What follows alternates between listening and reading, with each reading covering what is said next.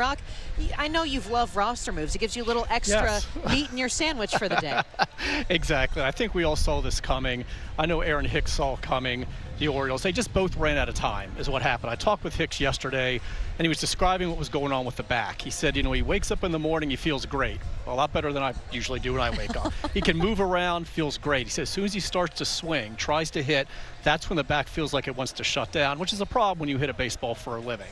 So when I asked him, do you think you can avoid the injured list, he, he didn't sound that hopeful. He said, you know, the days are dwindling. They're running out of days. And he goes, if I can't help this team win, they're going to have to bring in somebody who can. So I thought, okay, that's a strong hint. So I checked Norfolk's box score last night. Colton Cowser hit his 11th home run. Ryan McKenna did not play. Oh. He was on a flight here. He said he boarded a 7 p.m. flight through Salt Lake. He got here. Now, we don't know how long Hicks is going to be out. Brandon Hyde said that you know, he could be shut down for a couple weeks, but they just ran out of time. And I think also Anthony Santander's situation Yeah. had to factor in. He was removed last night for, get this, back soreness. There's a lot of that going around. He's day to day. He's not in the lineup tonight. So if you had two outfielders down, short bench, that wasn't going to work. So that's why I got McKenna here. Santander, maybe he's available tonight, maybe tomorrow. But this has been something he's been dealing with for most of the season.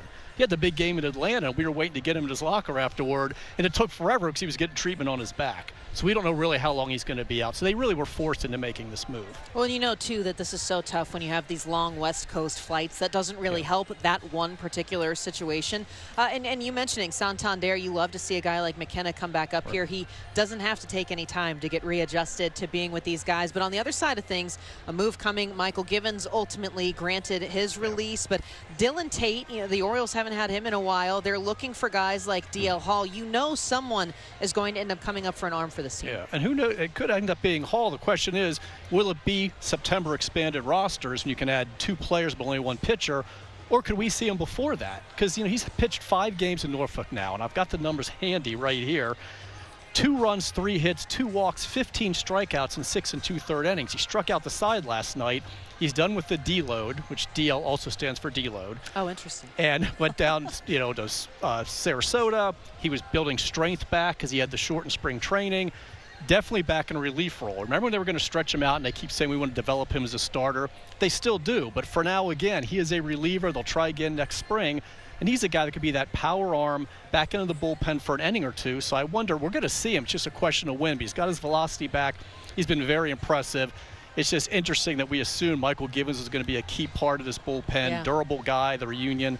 Six appearances, four ineffective innings. He's gone. Tate has not pitched all year. And at this point, he's doing some throwing in Sarasota, but he's not ready to go on a rehab assignment. So if you get anything out of Dylan Tate in 2023, that's a pretty big deal. Keegan Akin, remember him? He pitched once in the Florida Complex League, once at Norfolk. He shut down again because of, get this, his back. It's contagious, apparently. So not- he's shut down. We don't know when he's going to be pitching again. Maybe Austin Voth. He's in Norfolk, rehab assignment. He threw three scoreless recently, so maybe we end up seeing him. But DL Hall might be the key guy of everybody we're talking about.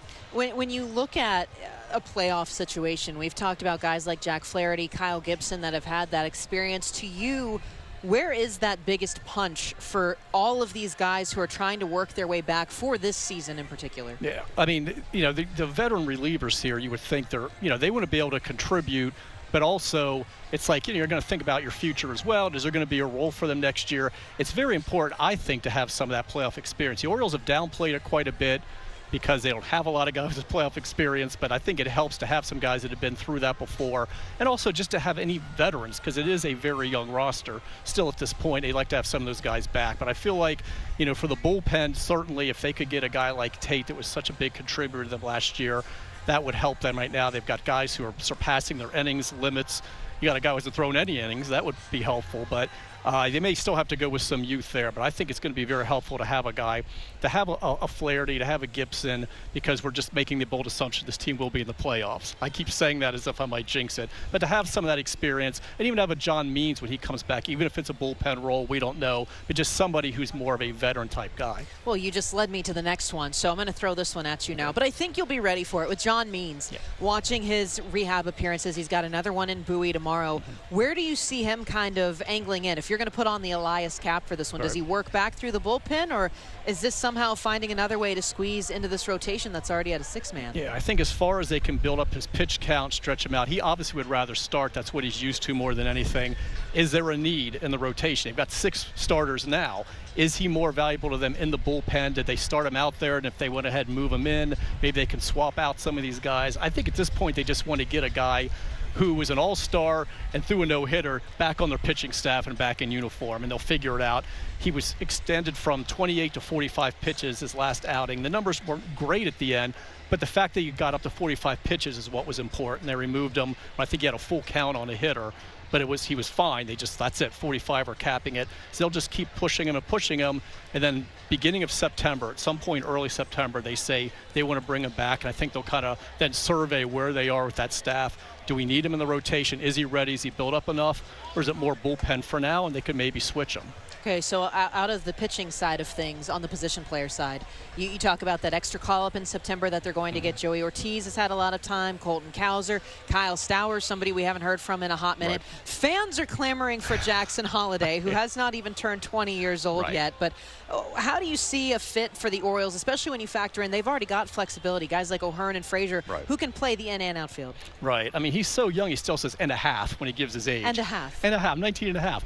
I mean, I know I had a friend text me again this morning predicting he's coming up, other teams are doing it, and it would help contract. What? I, I just know he's a 19 year old kid who started out in Delmarva. I don't know if he's going to make that jump. I don't. You don't necessarily need him right now. I mean, you, I think his pitching is what they're really looking at at this point. But there are other places they could go. And you're right. You look at a Cowser, a Kjerstad, even, or an Ortiz. Exactly. I just I don't see it. But I've learned never say never because then it's going to happen and it's just going to be replayed over and over. So I'm not going to say no. I just feel like at this point they're going to look and say, okay, what what what do they need more? It'd be nice to have a speed guy coming off the bench, but that's where they have oh, Jorge Mateo mm-hmm. could be that guy. So. Yeah. You know, do they need another outfielder? They don't need necessarily need Jackson Holliday, but I know it's intriguing. It's something that would excite fans, and he's a toolsy guy.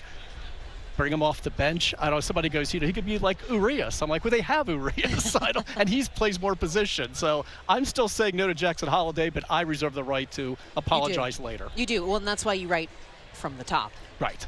All right, well, we'll let you get out of here and All you can start writing on that rock. Thanks as always for Thank joining you. us.